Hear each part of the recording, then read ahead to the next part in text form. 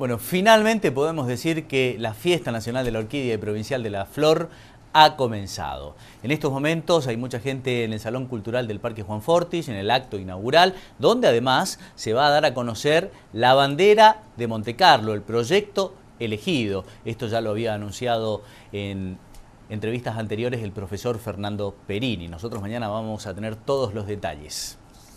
Pero ahora vamos a compartir el desfile, este tradicional desfile que realizamos en nuestra localidad para comunicar que nuestra fiesta está en marcha. Comenzó hoy a la tarde con los hermanos Scherer desde el semáforo de la terminal de ómnibus y por supuesto se fueron sumando instituciones educativas, instituciones deportivas, diferentes vecinos, colectividades, en esta marcha que se ha vuelto una tradición en Montecarlo, una buena iniciativa, y la gente que se suma para ser parte también de la fiesta que nos representa. Vemos a los padres con sus hijos, a las escuelas con sus respectivas remeras, uniformes, desfilando por la Avenida Libertador. De esta manera se, se llegó hasta el Salón Cultural del Parque Juan Fortis, Ahí estamos observando las colectividades, un muy buen gesto con banderas representativas de cada país. Todos sumándose a este inicio de la Fiesta Nacional de la Orquídea y Provincial de la Flor. También estuvieron participando los chicos de Taekwondo. Y así, a lo largo y ancho de la avenida, en Monte Carlo, se fueron sumando distintas organizaciones. Bueno, ha comenzado la fiesta. Lo único que resta pedir es que el tiempo acompañe. Y la verdad que los pronósticos no son muy alentadores. Sin embargo, en los últimos al menos 12 días el Servicio Meteorológico Nacional no estuvo muy acertado con el pronóstico, al menos para la localidad de Montecarlo.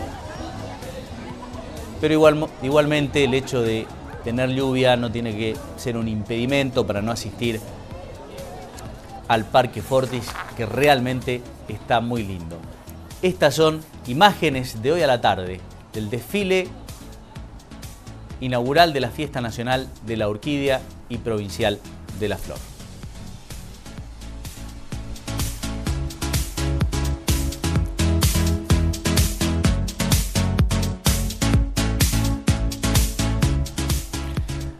Vamos ahora hasta el Parque Juan Fortis.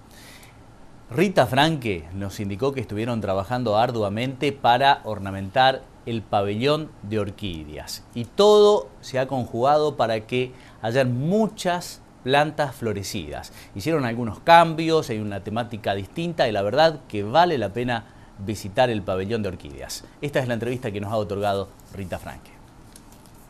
Bueno, realmente se van a encontrar con un pabellón completamente eh, distinto, cambiado, eh, hemos hecho varias este, reformas y eh, cambiamos que los lugares también, las plantas este, premiadas van a estar en otro lugar.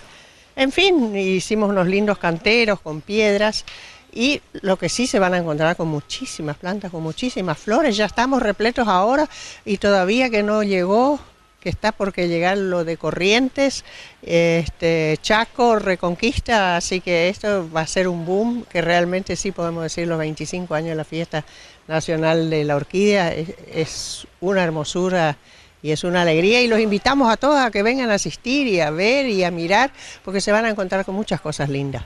¿Tenían miedo en este año por las variaciones de temperatura, las floraciones fuera de época? Sí, son cosas que nos pasan todos los años, que siempre tenemos miedo, pero gracias a Dios de un principio yo decía que nos vamos a encontrar con una floración completamente distinta, porque las plantas también sufren, eh, así como sufrimos nosotros que las este, personas con las enfermedades, con esos cambios bruscos de clima, así las plantas este también, algunas pobrecitas que no saben qué tienen que hacer. Tenemos este año a full, a full la floración de la Miltonia flavescens, que es la nativa nuestra, es el emblema de la Asociación Orquidiófila, es como que festejando los 25 años nos quiere que mostrar que lo bella que está. Si no, por lo general florece recién en noviembre. Así que eso es una gran eh, sorpresa y es una este, orquídea muy simple pero muy bonita y, y nos va a llenar todo acá.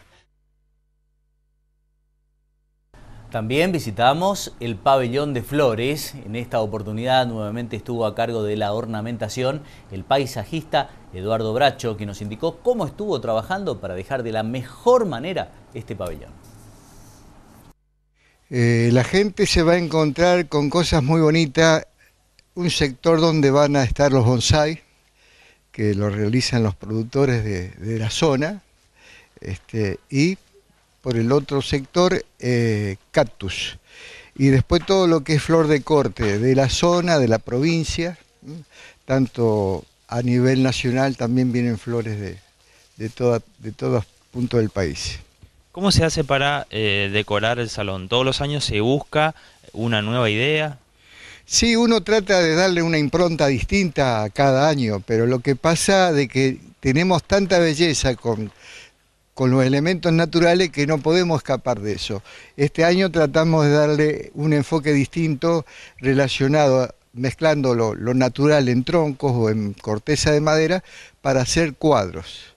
Eh, como tú verás aquí hay un cuadro móvil que, que lleva mucho material, tanto follaje como flores, que es de la provincia y una flor típica de esta zona, que son las heliconias.